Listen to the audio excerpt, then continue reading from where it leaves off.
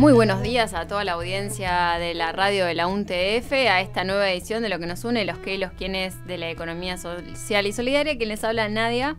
Fátima Toboni los saluda en este programa número 13. Bien, y Sebastián. Muy bien, estamos aquí con el equipo de la radio de la UNTF, con el señor operador Alejandro Gauna. Eh, y bueno, está Eli también y Flor que andan por ahí dando vasos. Eh, Flor que andan dando, dando vueltas por ahí. Eh, y tenemos una visita también. Sí, sí, nuestra compañera Gabriela Ramos, que la aprovechamos a saludar. Y le decimos también que la extrañamos. Sí, sí, sí. Estuvo con nosotros el año pasado eh, haciendo lo que nos une en su primera edición. Y bueno, este año se ha dedicado a, estudiar un poco más y ahí a avanzar con algunos otros proyectos. Así que, eh, bueno, celebramos que esté visitándonos en el día de hoy. Bueno, en los últimos programas empezamos la semana pasada a conversar sobre algún nuevo eje, ¿no? De la campaña Ponerle un 10 a la economía social y solidaria. Esta campaña, que es una campaña comunicacional que eh, pretende visibilizar y poner en agenda pública la cuestión de la economía social y solidaria, sus principios, sus actores. Y eh, en ese sentido hemos empezado a trabajar con qué tema. Y con el LibreOffice, recién estábamos hablando. Igual estamos hablando con los sistemas operativos de, libre eh, código. Esto es muy importante porque, bueno, estuvimos ya discutiendo acá con Marcos García, que nos, dio un pantallazo genial, así que lo invito a escuchar el, el programa anterior para informarse un poco sobre el tema y, bueno, eso principalmente. Muy bien, estuvimos hablando sobre el eje de software, libre. Así es, y hoy vamos a seguir. Tenemos un, un entrevistado que esperamos siempre que nos podamos comunicar. Eh, y bueno, y vamos a hablar de cómo tiene que ver la, la soberanía ¿sí? y el software libre. Muy bien. Y el software libre, estuvimos em, hablando, la, justamente como decía Sebastián la semana pasada, con Marcos García, un compañero aquí de la Universidad eh, Nacional de Tierra del Fuego, y eh, hablamos bueno, un poco sobre los pilares em, sobre los que se asienta el software libre en particular, y que tienen que ver justamente con las ideas que se llevan adelante y que se, se se plasman en, em, bueno, en alternativas para poder eh, desarrollar conocimientos, para poder desarrollar herramientas para todos y todos en, en, plataforma tecnológica, pero fundamentalmente sobre algunos principios como el de la libertad, ¿no? Hacía mucho énfasis Marcos sobre esta cuestión y en particular también, bueno, un poco con la democratización de la información, ¿no? El software libre trabaja sobre plataformas abiertas, sobre códigos que pueden modificarse y en ese sentido, bueno, justamente se trata de una, mm, una sumatoria, no sumatoria, sino tal vez eh, un crecimiento continuo de los desarrollos a partir que se pueden dar a conocer y se pueden utilizar libremente justamente estas plataformas que se van construyendo. Por eso hacíamos la analogía con las cooperativas, ¿no? Esta idea de que todos trabajando, todos hacia un mismo lado, o sea, la búsqueda de esta libertad sobre las plataformas virtuales, ¿no?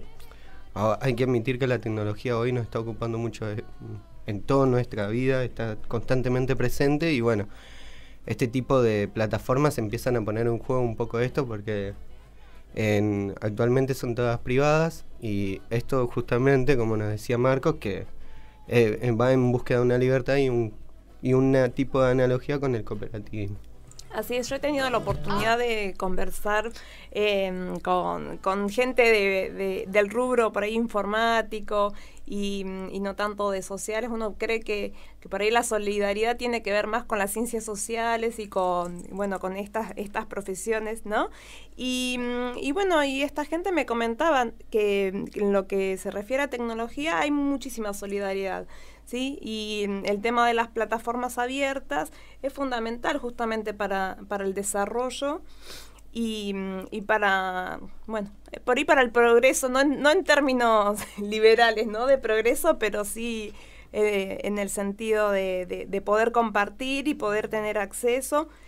Eh, aunque eh, lo, lo que me advirtieron al respecto es bueno, tanta libertad en respecto al software libre, hay empresas que también van tomando su, su ventaja.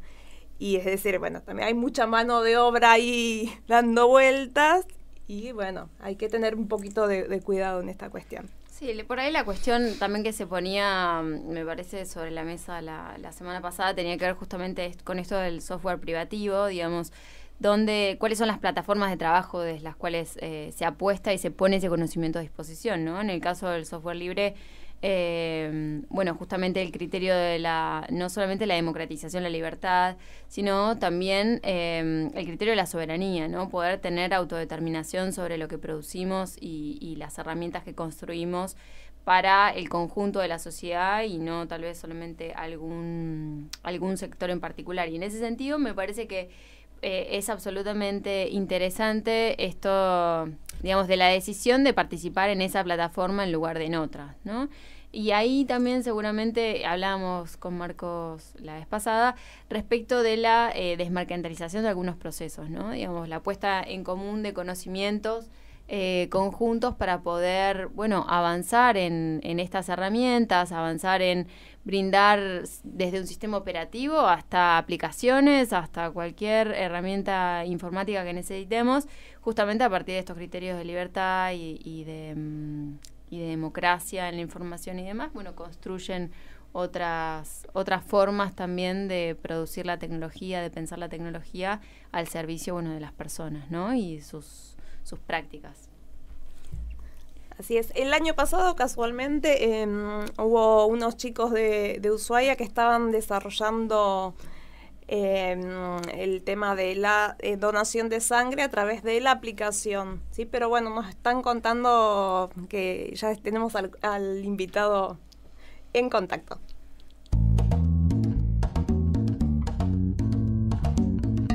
La economía social y solidaria es más democracia. En los software libres, los usuarios tienen la libertad de ejecutar, copiar, distribuir, estudiar, modificar y mejorar el software. Es decir, no es una cuestión de precio, es una cuestión de libertad. Las tecnologías libres producen soberanía tecnológica. Ponele un 10 al software libre www.poneleun10.com.ar bueno, y así mientras veníamos comentando algunas cuestiones vinculadas a, a lo que estuvimos empezamos a hablar la semana pasada respecto del software libre, escuchábamos recién la cuña radial de la campaña Ponele un 10 a la economía social y solidaria, en particular respecto de este eje sobre software libre. Y como adelantaba Fátima en el bloque anterior, estamos en contacto con Leandro Monk, que es eh, uno de los referentes de la FACTIC, que es la Federación Argentina de Cooperativas de Trabajo de Tecnología, Innovación y Conocimiento. Muy buenos días, Leandro. Te habla Nadia. Fátima te saluda. Y Sebastián. Hola a la mesa. Buenos días o buenas tardes, depende si han almorzado o no. Muy buenos días. En nuestro caso, eh, Leandro, te agradecemos muchísimo la oportunidad de, de, poder conversar con vos. Estás en Buenos Aires, entendemos. Eh, y nos comunicamos con vos, bueno, justamente porque en este programa eh, donde hablamos sobre las prácticas y los actores de la economía social y solidaria, nos interesa eh, en particular sobre el tema de software libre, hablar con, con ustedes que bueno, son un actor de, de, la economía social y solidaria en Argentina que vienen promoviendo eso. Y para empezar a hablar con vos, bueno, te queremos preguntar para que le puedas contar a la audiencia y aquí a todo el equipo, bueno, ¿qué es la FACTIC y, cuándo nació y quiénes la integran? Bueno, FACTIC es una federación de cooperativas que nació hace ya unos seis años, siete. Eh, la integran una veintena de cooperativas que nos dedicamos mayormente al desarrollo de software este, y de ese software mayormente o intentando este, desarrollar software libre todo lo que podamos. Este, mm, y desde la federación lo que hacemos es eh, principalmente apoyar eh, y, apoyarnos a las cooperativas en distintas áreas, áreas de, de capacitación, en áreas de búsqueda de nuevos trabajos, en la representación estatal, ¿no? Con distintos organismos públicos, trabajamos por fortalecer a las cooperativas que nos dedicamos a la tecnología y obviamente el movimiento cooperativo y por eso que participamos de dos de dos confederaciones, Cooperar, que es la Confederación de Cooperativas de la República Argentina, y la CNST, que es la Confederación Nacional de Cooperativas de Trabajo. Muy bien, y esto que decías eh, respecto de la, mm, la, capacitación a las cooperativas, el fortalecimiento y demás, tiene que estar vinculado con las 10 líneas estratégicas, ¿cierto? Que tiene la federación. Es una de las líneas estratégicas. Este, para nosotros es fundamental, va, para todos, pero si en el mundo de la tecnología eh, aparentemente un poco más crítico, este, está suficientemente capacitado para poder absorber los las nuevas tecnologías que se van desarrollando y que vamos desarrollando, porque esa es otra de las cosas que trabajamos y que tratamos, trabajamos por este, desmentir, que nosotros creemos que todos podemos ser este, eh, desarrolladores de nuevas tecnologías, no hace falta vivir en ningún Silicon Valley, ni ser un tocado por la varita mágica de, de Zuckerberg, ni ninguna de esas cosas, sino cada uno puede hacer su aporte, sobre todo en su comunidad, dándole valor a la diversidad que tenemos en cada una de nuestras comunidades. El software que se desarrolla en, la isla más austral del mundo probablemente sea distinta al software que se desarrolle en eh, un país emergente o en un país desarrollado, en Francia, por ejemplo. Y las necesidades son distintas y los problemas a resolver tienen sus particularidades y nosotros creemos que el software libre abre la posibilidad de este, incluir esas diferencias, esa diversidad que tiene cada una de las comunidades. Muy bien, y mm, vos decías que prioritariamente trabajan sobre la tecnología de software libre o mm, sí, o digamos sí, proponen específicamente trabajar sobre eso o es prioritariamente Hay cooperativas que trabajan exclusivamente con esa tecnología hay cooperativas que tienen un modelo más mixto, que trabajan con software, con software libre y con software privativo. Este, no es una condición para participar de la federación trabajar exclusivamente con software libre, pero todos, cada una de las cooperativas, cree, preferimos el uso del software libre. Muy bien, muy bien. Y, podríamos decir que, o, a ver, te voy a preguntar, eh, para ustedes, ¿cuál es el software cooperativo? Bueno, el software cooperativo es algo más que el software libre, por lo menos para nosotros. Nosotros creemos que obviamente, sin duda tiene que ser libre eh, y permitirnos eh, las cuatro libertades, la, la capacidad de este, estudiarlo, la capacidad de usarlo para cualquier fin, la capacidad de modificarlo y de redistribuirlo. Nosotros creemos que el software cooperativo le da una vuelta de tuerca más y está más relacionado con la arquitectura de los sistemas que desarrollamos. Hoy, la mayoría de las tecnologías que utilizamos son tecnologías este, llamadas centralizadas y que en el fondo buscan este, la acumulación de información de determinados actores.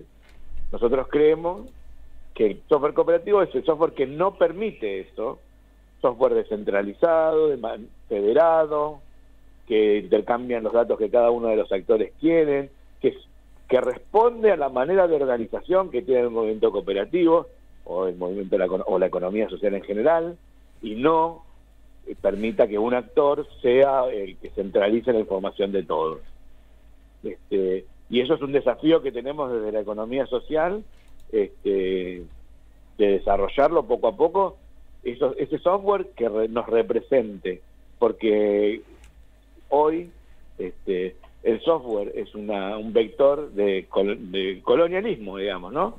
Y parte de eso está en cómo se desarrolla el software. Tenemos que dar ese, esa, cambiar esa ecuación para que nos, nos represente a nosotros también. Muy bien, ahí aparece la idea de la soberanía tecnológica, ¿cierto? Y la soberanía tecnológica es un valor importante. Este, eh, soberanía tecnológica cuando hablamos de países, ¿no es cierto? Pero cuando hablamos de cooperativas o organizaciones, ya nos, nosotros nos remitimos al cuarto principio cooperativo, que es autonomía e independencia.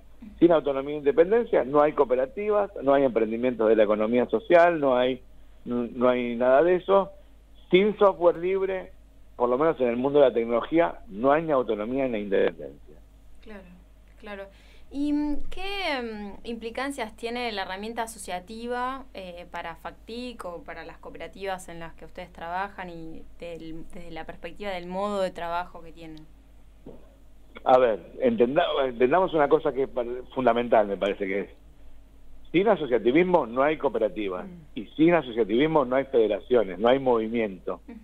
Porque todos sabemos que eh, los problemas que tenemos que encarar si no los resolvemos de manera asociativa, no los resolvemos directamente. Entonces, la misma asociatividad es la llave que abre la posibilidad de solucionar nuestras necesidades y nuestros problemas. Esa es la herramienta fundamental del cambio social, digamos, ¿no? Nosotros creemos en que el asociativismo nos da herramientas, que son nuestras cooperativas, para poder de a poquito trabajar en una sociedad mejor. Claro, claro. Y hoy, si pudieran em, analizar, eh, Leandro, los desafíos que tiene la federación, ¿cuáles serían? Uh, un montón. para, para empezar, seguir difundiendo el modelo de software libre, ¿no? La posibilidad de intercambiar la información, de no de que no haya una barrera artificial para que intercambiemos conocimiento. Eso por un lado. Por otro lado, fortalecer a la economía social.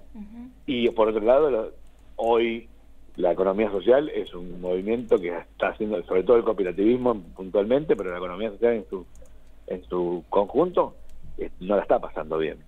Este, eh, las políticas públicas que está implementando este gobierno hace que muchas de las cooperativas y de los, em, de los actores de la economía social sufran y sufran mucho. Entonces los desafíos es trabajar para dar vuelta a este esa ecuación, ¿no es cierto? Este, que no haya más persecución, que no haya este, este, irracionalidades como el proyecto de grabar con impuesto a las ganancias a las cooperativas, cosas de este tipo, este, más, más allá de los tarifazos para las empresas recuperadas que hacen que inviabilizan este, los emprendimientos. Bueno, hay una serie de políticas públicas y desafíos de esas políticas públicas para para dar vuelta a la ecuación. Además de difundir el modelo cooperativo, además de difundir el modelo del software libre, tenemos un montón de desafíos y un montón de trabajo, por suerte. Bueno, fantástico. ¿Y algunos proyectos en cartera que estén trabajando, digamos, para, para este, estos meses de, este año o en lo que viene? A ver, nosotros en la federación este, nos hacemos fuerte en dos, en principio en dos este, áreas de trabajo que para nosotros son las, en principio las prioritarias. La, uno es la incubadora, tenemos un espacio donde acompañamos nuevas cooperativas que están formándose o que están desarrollándose en todo ese camino, poder presentar toda la cuestión administrativa, pensar cómo trabajar, acompañarlos en todo ese proceso, ¿no? De qué manera vender o de qué manera interactuar con el mercado, con qué productos, de qué, etcétera, etcétera, etcétera. Toda la cuestión más de que las cooperativas sean viables económicamente. Y otro espacio que para nosotros también es muy, muy importante es el espacio de intercooperación. Nosotros creemos que eh, abrir espacios donde podamos trabajar en conjunto nos hace mucho más fuertes. Y ese es el otro espacio donde seguimos trabajando, que nosotros llamamos flujo intercooperativo de trabajo, un espacio donde trabajan en conjunto todas las cooperativas. Este, seguir profundizando y mejorando esos dos espacios para nosotros son un desafío importante. este, en una época donde lo que más nos preocupa eh, es fortalecer nuestras cooperativas y nuestras nuestras, eh, nuestras cooperativas para poder eh, seguir dando la batalla, ¿no es cierto? Bien, Marcos, y te quería consultar si mm, tienen, eh, perdón, Leandro, me, me, quedé con el, con el, el entrevistado anterior. Eh, si han surgido algunas consultas desde Tierra del Fuego para la conformación de cooperativas o proyectos. Supo haber, supo haber algunos compañeros que estuvieron intentando trabajar. Eh, no sé a, qué, a qué puerto, hasta qué etapa llegaron, pero sí hemos tenido consultas desde Tierra del Fuego para la conformación de cooperativas. Lamentablemente está, todavía no, no, no se pudo materializar, pero algunos compañeros nos han contactado desde allá. Bien. Y finalmente aquí eh, hablamos por ahí mm, antes, digamos, ¿quiénes son los destinatarios de los productos eh, que generan desde las distintas cooperativas que conforman la federación? Eh, ¿Prioritariamente o...? No, la verdad, nosotros más que productos vendemos servicios y los servicios nos los compran distintos actores. Empresas, actores de la economía social, cooperativas, el eh, nacionales y extranjeros. Este, los, destinatarios de nuestros servicios en general suelen ser organizaciones públicas, cooperativas o privadas. Fantástico. Entonces ahí también hay, imagino que, digamos, respecto de sus destinatarios son cooperativas, ustedes también son cooperativas, ahí también hay un entendimiento particular de, bueno, cuál es el formato, ¿no? ¿Cuál es el formato? ¿Cuáles son los principios? una, una circulación ahí de, experiencias que no necesariamente se da en otros en otros ámbitos, ¿no? Y con otro tipo de empresas. este, como dice el sexto principio, cooperación entre cooperativas. Creemos fuertemente en, esa sinergia de las cooperativas. Fantástico, fantástico. Bueno, eh, Leandro, te agradecemos muchísimo la oportunidad de poder haber conversado con vos estos minutos, por tu tiempo. Eh, seguramente nos estaremos comunicando eh, con vos nuevamente en el año por alguna herramienta puntual y demás que ahí estuvimos eh, mirando en las redes y que han estado trabajando las distintas cooperativas. Eh, como, digo, como SAP o como otras, otras herramientas. Así que te agradecemos muchísimo y bueno, te saludamos hasta la próxima vez que nos podamos volver a comunicar. Dale, a la orden. Muchísimas gracias. Un abrazo. Un abrazo. Hablábamos con eh, Leandro Monk de la, de la FACTIC, la Federación Argentina de Cooperativas de Trabajo de Tecnología, Innovación y Conocimiento.